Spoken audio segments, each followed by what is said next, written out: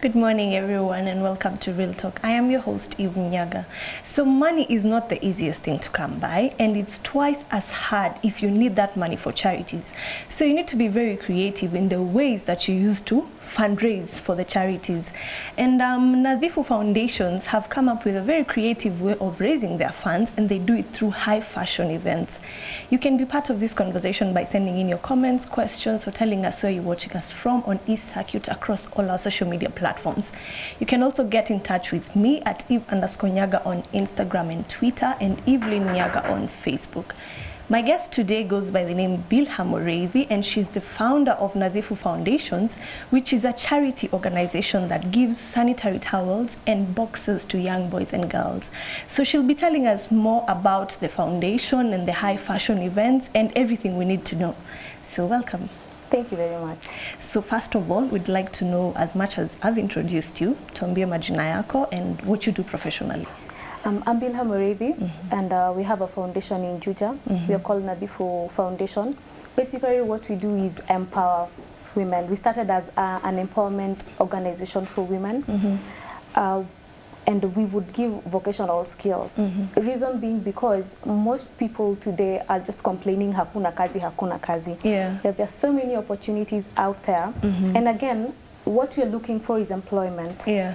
So at Nadhifu, we believe that in vocational skills, mm-hmm. there, are, there, are, there are opportunities there. Yeah. So the skills we give are something like branding, mm-hmm. there, there is detergent, mm-hmm. there is beadwork, and there is then there is sandal making. Yeah. Something that a woman can be able to do when she's at her comfort of her home, as they're still looking for taking care of their children. Yes. But of late, uh, we had issues of uh, issues with fundraising. Yeah. Um, and then again, we felt that we are also having these women once they have their products ready for the market, we still are not able to outsource the market. Yeah. So we ended up having a program where we had models come in, and uh, we have organized a number of pageants. Um, then uh, then the, the challenge was we are crowning a model, telling her, "You are the queen. Yeah. Uh, go uh, around the world." But this girl doesn't have um, doesn't have funding, mm-hmm. network, or even the awareness of how they can do to do projects, community projects. Mm-hmm.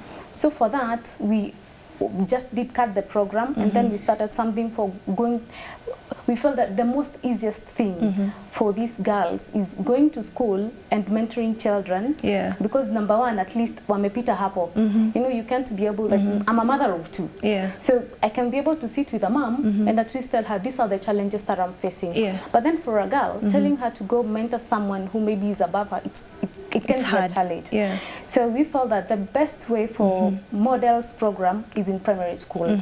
So we go to primary school, give sanitary to girls, mm-hmm. and boys we give boxers. Mm-hmm. And our intention was not to reach out to the mothers and mm-hmm. then give them these skills. But after going to these schools, right now we have gone to six schools. Six schools. Yes, and uh, after going to these schools, we started finding that these children, most parents are earning something like 250 a day, and you can imagine that this parent Yeah. has like three children. Yeah, and they need to feed them. So that is kidogo money, honestly. Yeah.